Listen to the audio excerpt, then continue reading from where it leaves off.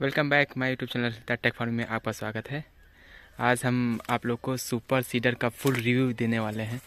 ये कैसे वर्क करता है और कैसे इसकी बिजाई की जाती है, इसकी हम पूरी जानकारी आप लोग को देने वाले हैं। इससे पहले आप हमारे चैनल ज़रूर सब्सक्राइब करिएगा, शेयर करिएगा, लाइक करिएगा। चलिए स्टार्ट करते हैं। ये ऊपर का जो बॉक्स बना हुआ है, इसमें गेहूँ भरा जाता है।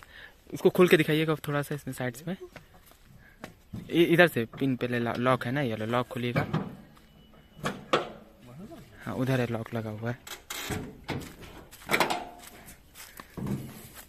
ये जो है, एक खांचा है जो इसमें से गेहूँ डाला जाता है, इसमें से डीएपी या यूरिया जो मिक्स करके डाला जाता है। और ये एडजस्टिंग का सिस्टम होता है। इसको, इसके द्वारा हम लोग ये सुपर सीडर का जो कितने में बीज डालना है, कितने में बीज नहीं डालना है, और ये खाद का एडजस्टिंग वाला सिस्टम होता है।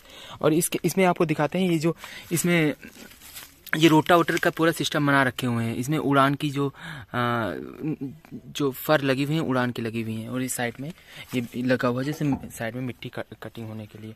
और इसमें जो जो मेन इसका अच्छा वर्क ये होता है कि जो साइड में बेलन लगा हुआ है। ये बेलन घूमता है। अभी आपको हम ट्रैक्टर चला के दिखाएँगे। और ये ये जो पाइप लगी हुई है एक में से डीएपी आएगी एक में से यूरिया आएगी। एक सॉरी एक में से डीएपी आएगी एक में गेहूँ आएगा। और ये जो तवा होता है ये जो लगा हुआ है, ये मिट्टी को काटता है और बीच में गेहूँ की बिजाई होती रहती है। ये देखो, आप लोग देखिएगा ये। और ये जो चक्का ऊपर ये बंधा हुआ है, इसको यहाँ से खोल के नीचे गिराया जाता है। और ये चलता है, इसके बाद इसमें से गरारी ये चलती है। गरारी चलती रहती है, इससे गेहूँ धीरे धीरे आस्ते आस्ते नीचे आता रहता है। आप लोग को हम ट्रैक्टर स्टार्ट करके इसको चला के दिखाते हैं।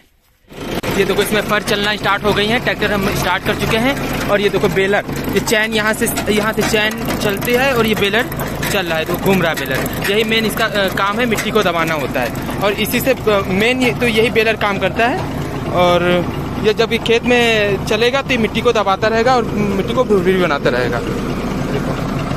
ऐसे करके सुपर सीडर वर्क करता है। Super seeder Ghuman motor company का है और ये अच्छा खासा भी वर्क कर रहा है।